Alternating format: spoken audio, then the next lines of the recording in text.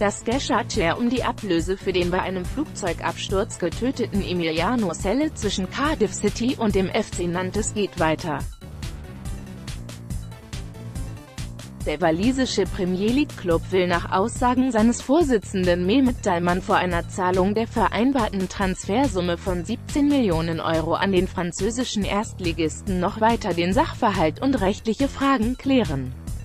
Wenn wir vertraglich zur Zahlung verpflichtet sind, werden wir zahlen.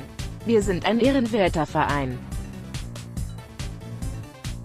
Aber wenn wir nicht dazu verpflichtet sind, und es gibt einige Besonderheiten, wird man von mir als Hüter der Vereinsinteressen erwarten, die Lage genauer zu betrachten.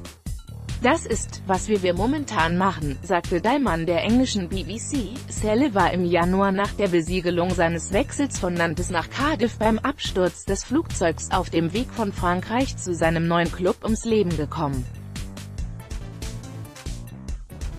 Schon vor der Bergung und Identifizierung des 28 Jahre alt gewordenen Argentiniers in der vergangenen Woche hatte Nantes durchblicken lassen, auf Zahlung der vollen Ablöse pochen zu wollen, sowie die Prüfung von Möglichkeiten zur Zwangseintreibung der Transfersumme und Einschaltung des Weltverbandes FIFA angekündigt.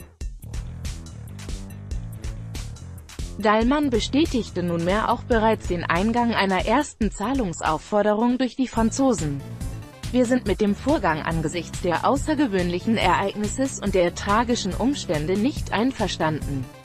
Punkt. Wir bitten einfach um Verständnis, dass noch viele Fragen beantwortet werden müssen, sagte Cardiffs Vereinschef dazu weiter.